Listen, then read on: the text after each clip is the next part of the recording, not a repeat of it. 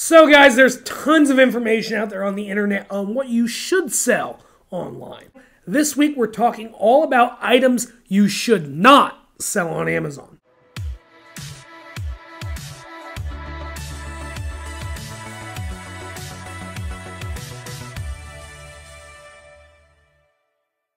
There's tons and tons of products that you should stay away from. And today I'm going to tell you how to identify those red flags so you can avoid unprofitable items. So let's get started. The first thing you want to look out for is items that there's a lot of competition on. I'm not talking about, you know, normal levels of competition. I'm talking about elevated levels of competition. If you do a quick search, how many results are you getting for that product, right? Let's take the example of a cell phone case. There might be 200,000 different sellers selling a cell phone case online. Same thing's true of like wallets right? So these are items that have a lot of competition, and it's going to be very hard to stand out in the crowd of uh, other sellers, regardless of what you do and how you differentiate yourself in the market. So it's really important to try to stay away from these overly competitive categories that are already flush with tons of sellers that are all competing to make that sale. The next thing I want you to stay away from is items that the exact same or similar item is available uh, already online. And a good way to do this is just do some searches and see if uh, the item that you're planning on bringing over or selling is already available. What people don't realize is that there's very few factories in the world that make a specific type of product.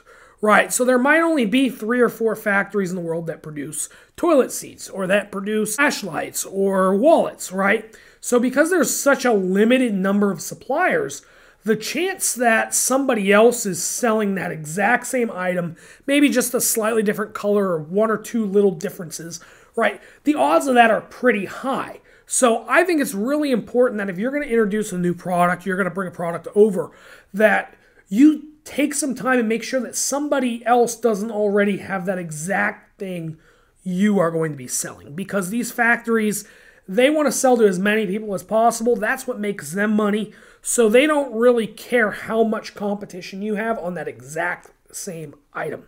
The next thing you want to avoid is commodity goods.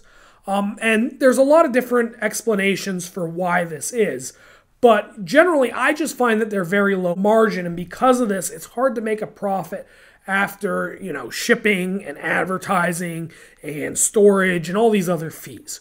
Right. So, how do I know if something is a commodity good? Well, a commodity good, I usually like to explain, is something that, you know, is interchangeable, right? I don't really care if I get this gallon of gas or that gallon of gas. They're pretty much identical quality. I don't really care which one I get because that perceived value from additional quality is so small. So, the way I want you to think about this is if you've ever shopped online and you've hit that price lowest first filter and then just bought the cheapest thing you can find, that is probably one of these commodity type goods, right? And the problem with these commodity type goods is everybody's on a race to the bottom, right? It's a red ocean. There's a lot of competition. Everybody's trying to get as low as possible on price. And because of this, you end up in a position where you're just competing with everybody else to have the lowest price. It doesn't really matter what you do to stand out it always comes down to price. And because of that, you're always going to have a very poor margin. That's going to make it very difficult for you to make money, especially if you're a new seller and you don't understand how the world of shipping and advertising and all of that works yet. The next type of item I want to caution against are extremely large items, right? Things that you might run into a surcharge on, right? Things that are extremely large, extremely heavy, uh, you know, because a lot of times people are unaware that there are surcharges that these carriers put in place for oversized packages or extremely heavy packages, right? And a lot of times you can see shipping labels for things like furniture that are over three, four hundred dollars. So what I would recommend is researching the cost of uh, shipping that item before you purchase it. If it has a very large shipping cost, this might be why there's not a lot of competition on that product and that margin might evaporate. It's not a you shouldn't do it, it's that you should research it beforehand. The same thing is true when it comes to ads, right? Some keywords are just more expensive than others. So before you import a product that you think has a large margin, you may want to check advertising cost as well as the shipping cost. These are some of the red flags that I, you know, recommend keeping an eye out for in the market. Uh, if you're looking for some example products, like I said, cell phone cases, wallets, flashlights, knives, right? Like these are items that it's pretty hard to differentiate yourself.